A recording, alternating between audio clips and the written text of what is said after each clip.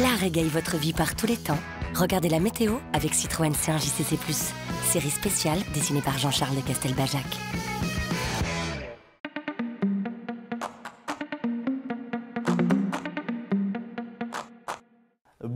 Bonjour messieurs, dames, je suis tellement content de vous retrouver pour ce nouveau bulletin météo et ne croyez pas que j'arrive comme ça les mains vides. Oh non, j'ai plein de cadeaux pour vous. Alors mon premier cadeau, ça y est, c'est pour moi, ces cadeaux, c'est le week-end avec peut-être même les vacances, en tout cas pour les plus chanceux d'entre vous. Mais en plus, je vous rajoute eh bien, des places pour visiter la maison du frisson, ça se passe du côté de Saint-Quentin. Alors si vous voulez gagner ces places, je vous donne rendez-vous euh, sur la page Facebook via ma télé. Alors en attendant pour cette journée de samedi, malheureusement, dans la matinée, un temps plutôt mitigé avec pas mal de grisailles. Cette couverture nuageuse qui sera bien présente avec même quelques pluies éparses, principalement sur la côte de Pâle, les températures entre 10 et 12 degrés. Pour la suite de votre journée, ça va légèrement s'améliorer avec un peu plus d'éclaircies, excepté malheureusement pour notre département. Vous le voyez, toujours ces faibles précipitations du côté de l'Aisne et des températures comprises entre 13 et 16 degrés et toujours les vents bien présents en direction de la partie littorale. Concernant la journée de dimanche, eh bien vous restez connectés sur Via avec malheureusement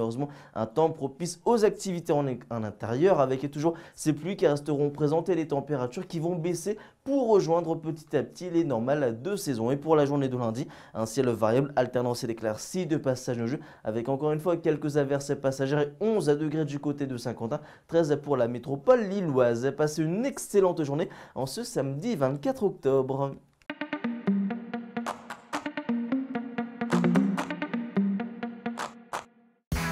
L'art régaye votre vie par tous les temps. C'était la météo avec Citroën C1 JCC+. Série spéciale dessinée par Jean-Charles de Castelbajac.